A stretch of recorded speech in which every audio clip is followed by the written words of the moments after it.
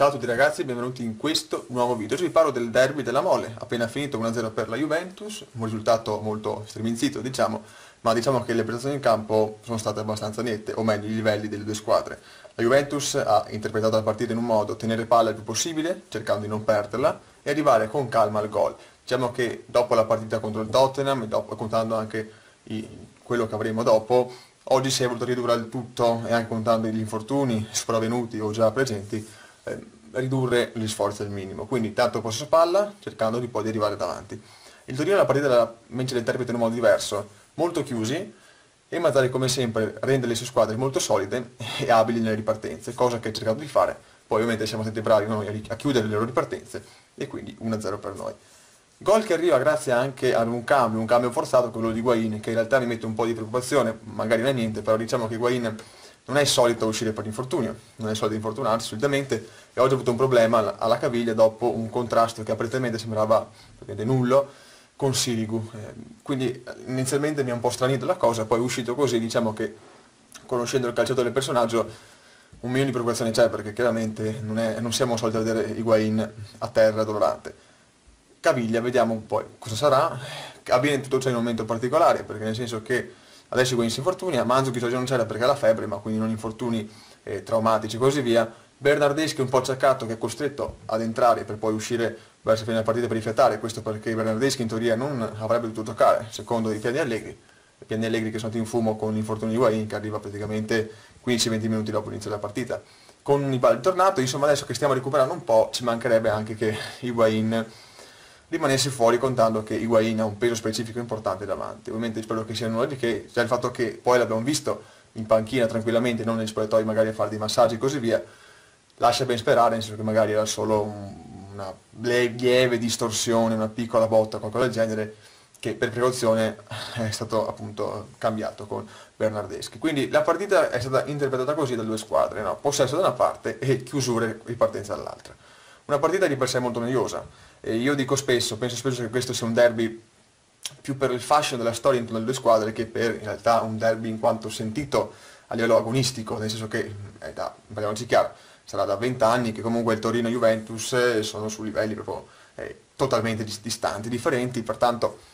è inutile pretendere che poi siano partite eh, di rilievo. Le ultime partite che ricordiamo molto con piacere del derby sono ad esempio quello con eh, gol arrivati al 93esimo, perché? Perché chiaramente una partita che resta come questa in ballo, in stallo, sullo stesso risultato per 90 minuti, chiaro che nel momento in cui Pirlo o Quadrado segna il gol dopo il recupero, chiaro che poi il derby cambia volto e diventa molto interessante. Ma su 95 minuti, con un gol che arriva al 93esimo con quel quadrato, quei 90 minuti li ricordo benissimo, nel senso che non ricordo quanto noiosi possono essere stati, magari con qualche poche azioni, ma di per sé, quando arriva così al, all'estremo un risultato è perché restando la partita insomma non è che aveva avuto grandi occasioni. Questa è stata una di queste occasioni, Sirigu ha fatto ben poco, Cesni ancora meno, già il fatto che Sirigu abbia fatto ben poco, nonostante la Juventus abbia avuto la palla tutto il tempo, vuol dire cosa? Che è stata una partita tormentata da una parte all'altra per interessi diversi, ovviamente Mazzarri poi ha anche cercato di spostare il peso in avanti con il cambio Edera e Niang, ma chiaramente la Juventus è molto brava a chiudere, ma soprattutto a non dar mai palla agli avversari, facendo un possesso palla anche noioso, eh, ma molto più, molto più ragionato e perfetto rispetto ad altre occasioni, con pochissimi errori, pochissimi, no, nella media, senza strafare come talvolta succede, di, appunto, di errori che poi hanno dato la palla agli avversari con qualche contropiede. Nel secondo tempo abbiamo visto un paio di contropiedi, uno importante nel primo tempo chiuso benissimo da Rugani, tra l'altro su un passaggio rimpallato male, insomma,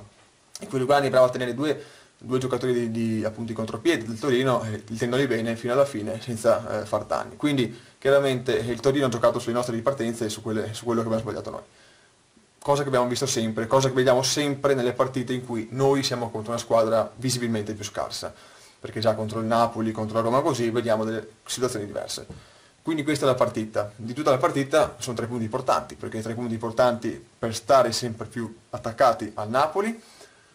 tre punti importanti per distaccare anche da quegli altri, perché l'Inter inizia a perdere pezzi, la Roma non mi ricordo neanche, la Roma ha fatto, ha portato a casa da Udine un bel risultato in positivo, ma chiaramente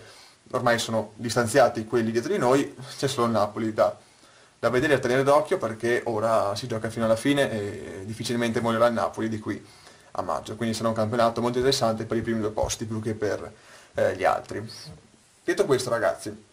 oggi mi sento di parlare tutti, siete tutti promossi, e nota positiva sono Vedeciglio che ormai sembra avere una certa dimestichezza col ruolo, con eh, la giocate, quindi molto, molto bene. Rugani che diciamo che oggi è stata una partita poco provante dal punto di vista difensivo, cioè di fase difensiva tutto insieme coralmente abbiamo fatto bene, abbiamo chiuso chiaramente i contropiedi del Torino. Dal punto di vista individuale poca roba potuti, nel senso che hanno fatto veramente poco, non per, per demeriti loro, perché chiaramente come detto la partita è stata addormentata molto bene da noi, però Rugani in quel paio di occasioni si è eh, gestito bene. È bene Chiellini, Alex, eh, Samoa come terzino, perché Alexander si è spostato in avanti, i tre di centrocampo eh, bene Pjanic, anche se chiaramente eh, anche oggi, come vi ripeto, oggi era un palleggio molto tranquillo, blando, senza grandi pretese, che di Resturaro ha fatto falegnami, insomma, come sempre. Davanti Douglas Costa Bernardeschi,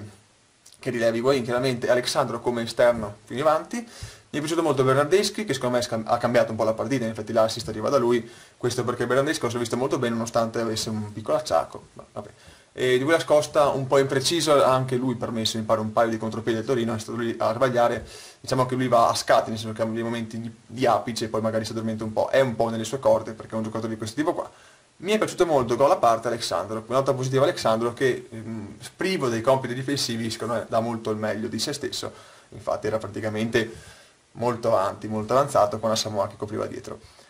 Poi è entrato Dybala che torna per infortuni in due mesi, quindi speriamo che sia un buon ritorno, un po' alla volta dovrà prendere dimestichezza col campo. E infine l'Iksteiner, vabbè, ma ha fatto niente.